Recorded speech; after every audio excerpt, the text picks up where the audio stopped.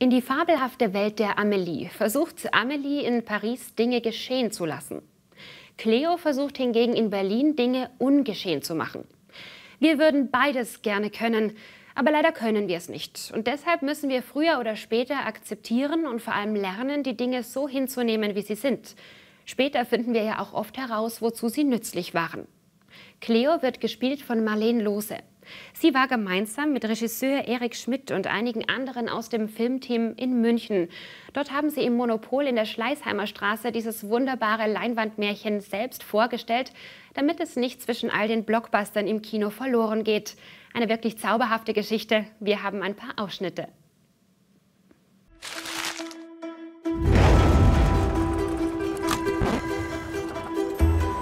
Willkommen in Berlin. In Cleo geht es um eine junge Frau, die versucht, den Tod ihrer Eltern ungeschehen zu machen, indem sie eine magische Uhr findet, die die Zeit zurückdrehen kann. Aber eigentlich geht es um viel mehr. Der Film ist eine ganz fantastische Reise durch Berlin und durch die Geschichte Berlins äh, in Form einer Schatzsuche.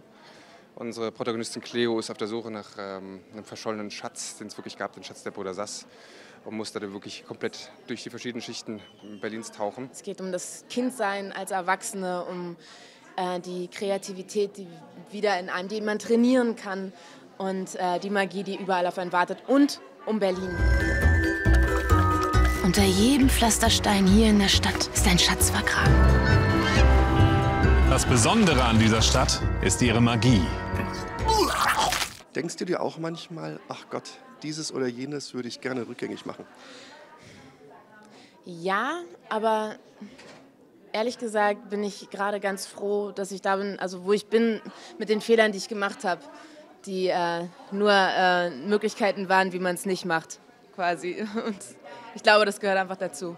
Tatsächlich basiert die Idee überhaupt, äh, Sachen rückgängig machen zu wollen, auf, auf äh, Erlebnissen, die ich hatte, die ich sehr gerne rückgängig gemacht hätte, ähm, größere Einschnitte äh, in meinem Leben. Und ähm, trotzdem ist ja genau die Reise, die unsere Protagonisten macht, auch äh, gewissermaßen meine Reise, so dass ich jetzt zum Schluss gekommen bin, dass es man sich das doppelt überlegen muss, ob man es wirklich, wirklich will und ob es nicht einfacher ist und äh, heilsamer sich mit, dem, mit der Gegenwart anzufreunden.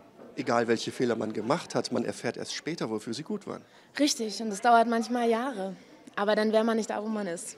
Ja, ich meine, wir springen ja mit unserem Film auch in, in der Zeit hin und her und wir werden vierdimensional. Und ich glaube, wenn man sich ein vierdimensionales Bild von seinem Leben angucken würde, dann würde plötzlich magischerweise alles tatsächlich einen Sinn haben. So. Also es gibt ja den berühmten Satz, irgendwie, man kann sein Leben nur rückwärts verstehen, aber man muss es vorwärts leben. So. Also ich glaube tatsächlich, dass ganz viele Sachen, und das kennen die meisten, glaube ich, so, irgendwas, was in deiner Vergangenheit war, äh, war damals vollkommen unverständlich und du setzt es in Relation irgendwann und du verstehst irgendwann, was, was, was für einen Grund es hat und wie es dazu kommen konnte. So.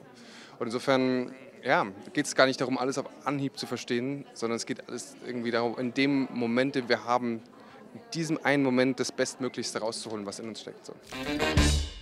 Wann habe ich eigentlich aufgehört zu suchen? Kommst du oder kommst du?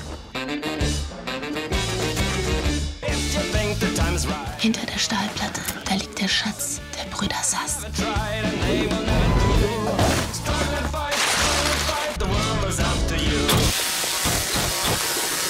Alles okay? Da ist Strom drauf. Während der Dreharbeiten und auch schon davor hast du dich ja mit diesem ganzen Thema auseinandergesetzt und vielleicht auch etwas mitgenommen von diesem Film für dich ins Leben. Was ist das? Mm, also erstmal der, während der Vorbereitung, ich habe bei dem Drehbuch auch mitgeschrieben und war von Anfang an mit dabei und es war eine sehr intensive Recherche, die wir betrieben haben. Also ich habe Berlin ganz, ganz anders kennengelernt. Ich habe diverse Stadtführungen mitgemacht. Ich bin in den Untergrund gegangen und äh, musste als Stadtführerin natürlich ein gewisses Wissen auch mitbringen über die Stadt. Also ich habe erstens sehr, sehr viel über Berlin gelernt und dann auch eine Menge über mich durch die Arbeit mit Erik, weil viele der Sachen, die wir dort im Film zeigen, das sind Tricks, die könnten wir hier jetzt mit unserer Kamera oder unserer Handykamera selber kreieren und es ist äh, nichts, wofür man irgendwie eine große Technik braucht. Also eigentlich geht es darum, die Kreativität und wieder in sein Leben zu holen und aktiv zu werden und äh, mutig zu sein, auch Zwischenstände ruhig zuzulassen. Also einfach machen und nicht warten darauf, dass irgendwas passiert, sondern selber aktiv werden. Wenn ich mir was wünschen dürfte, dann würde ich, ich würde alles einmal richtig machen. Was hast du zu verlieren? Öffne dein Herz. Es heißt, Cleo ist ein Berlin-Märchen. Warum sollen wir München uns das anschauen? Naja, da gibt es ganz viele Gründe. Erstens mal ähm, ist es äh, auch ein, ein Märchen Deutschlands letztendlich. Also die, die Geschichte, die besprochen wird, ähm, hat ganz Deutschland betroffen und es ist eigentlich deutsche Geschichte. Natürlich spielen in Berlin. Und dann geht es darum, um eine, eine, gewisse Seele, die Berlin eben hat. Es ist eine deutsch-deutsche Geschichte auch. Also die Geschichte Berlins hat mit ganz Deutschland zu tun. Und es ist, äh, ich glaube, jede Stadt hat ihren Genius Loki. Das ist äh, eine griechische, aus der griechischen Mythologie eben der Geist oder die Seele des Ortes, die in Form einer Schlange unter der Erde lebt. Und es ist auf jeden Fall sehr sehr inspirierend und reich, sich mit dieser Schlange in Berlin auseinanderzusetzen. Aber auch München hat eine Seele, eine andere, hat andere Sachen erlebt. Auch faszinierend, könnte man genauso gut einen Film drüber machen. Und es hilft einem vielleicht auch, ähm, dem Geist des Ortes in seiner jeweiligen Stadt ein bisschen näher zu kommen.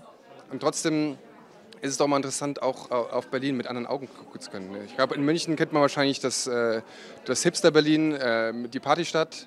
Und man kennt wahrscheinlich jetzt in den letzten Jahren die Araber-Clan-Hochburg. Äh, ich glaube, das Berlin habt ihr noch nicht gesehen.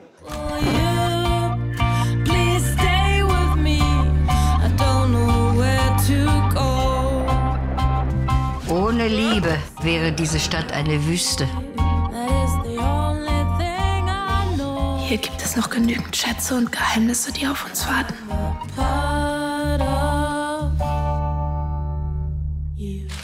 Was hast du von Cleo über dich gelernt?